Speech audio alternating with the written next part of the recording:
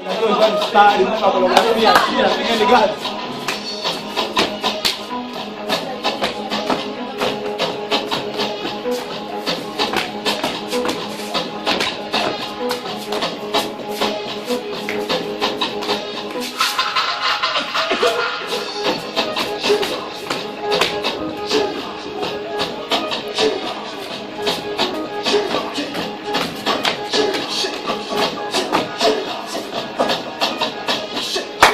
Obrigado.